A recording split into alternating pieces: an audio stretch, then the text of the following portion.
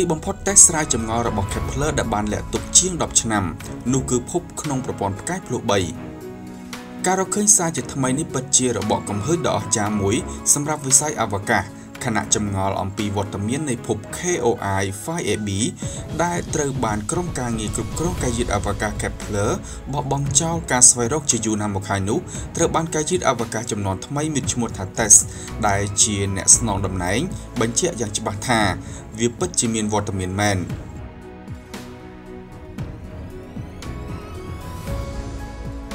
ការយានអវកាស Kepler ដែលបានលាចាកលោករួចទៅហើយក្រោយពីត្រូវបានបាច់បង្ហោះកាលពីឆ្នាំ2009នោះបានរកឃើញភពនៅប្រព័ន្ធផ្កាយនានាដែលយើងតែងហៅថា exoplanet សរុបជាង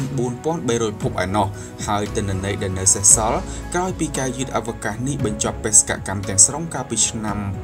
2018ក៏នៅតែអនុញ្ញាតឲ្យក្រុមអ្នកវិទ្យាសាស្ត្ររកឃើញភពថ្មីៗបន្ថែមទៀតផងដែរប៉ុន្តែអ្វីដែលពិសេសនៅក្នុងរឿងនេះ គឺភពដែលពីដំបូងឡើយត្រូវបាន Kepler សង្ស័យថាអាចមាននៅក្នុងប្រព័ន្ធផ្កាយភ្លោះ3កាលពីជាង10ឆ្នាំមុននិងត្រូវបានបោះបង់ការអង្កេតទៅវិញដោយសារតែប្រព័ន្ធផ្កាយប្រភេទនោះមានលក្ខណៈស្មុគស្មាញពេកនៅទីបំផុតត្រូវបានកែយឺតអវកាស test ធ្វើការកំណត់សារជាថ្មីឡើងវិញថាភពដោយការសង្ស័យនោះពិតជាមានវត្តមានប្រកបមែន KOI 5AB គឺជាភពដែលមានទំហំស្មើពាក់កណ្ដាលនៃភពសៅរ៍របស់យើងប៉ុន្តែវាគោចរជុំវិញផ្កាយមួយ ដែលយើងហៅថាផ្កាយ A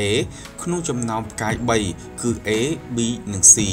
ដែលមានលក្ខណៈស្រដៀងព្រះអាទិត្យយើង និងស្ថិតនៅក្នុងកញ្ចុំផ្កាយ Cygnus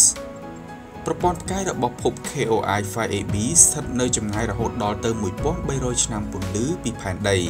ដែលមួយឆ្នាំពន្លឺស្មើនឹង9.46 trillion គីឡូម៉ែត្រ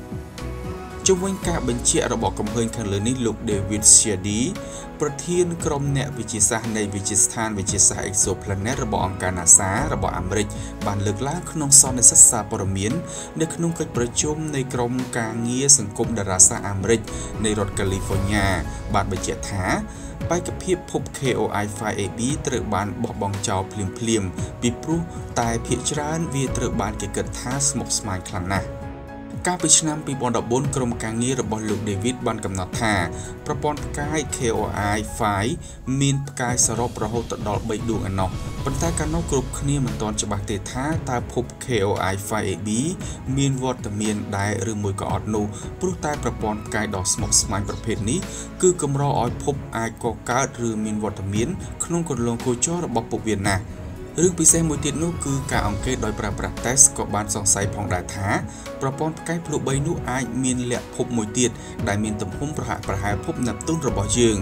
និងកំពុងគោចរជុំវិញផ្កាយរបស់វាមួយជុំដោយប្រើពេលតែ5ថ្ងៃប៉ុណ្ណោះនៃពេលវេលាលើផែនដី។